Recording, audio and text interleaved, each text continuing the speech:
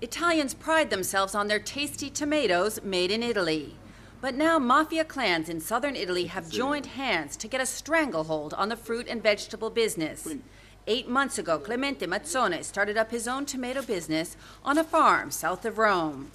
Mazzone complains bitterly about the business, saying that he can't make enough profit to meet the extensive costs.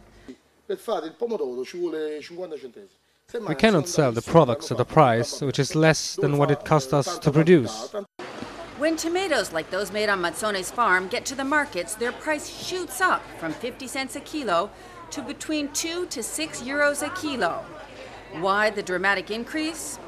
Italians take enormous pride in their products made in Italy, especially their exceptional food products like mozzarella, prosciutto, and tomatoes. But there's another product made in Italy that does enormous damage to the Italian economy, and that's the mafia. Tomato growers lose money when their tomatoes fall into the hands of mafia clans.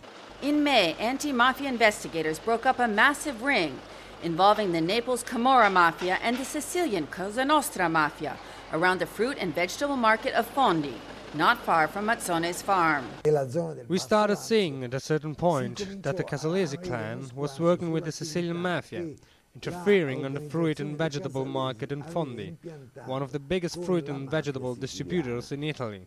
With the help of wiretaps, anti mafia investigators discovered that mafia clans were controlling prices and monopolizing the transport of fruit and vegetables from the Fondi market. Police arrested 68 people and confiscated 90 million euros worth of goods and property, including a fleet of over 100 trucks. The fruit and vegetable market of Fondi is a sprawling market area with hundreds of trucks going in and out on a daily basis. Farmers bring the fresh fruit and vegetables at dawn, where they are given to distributors who weigh them and pay the farmers. The products are then put on trucks to be taken around Italy and across Europe. People who work at the market claim the talk of mafia infiltration is just a media exaggeration.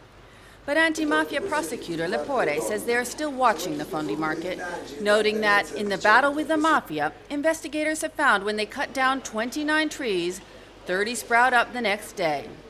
Tricia Thomas, Associated Press, Rome.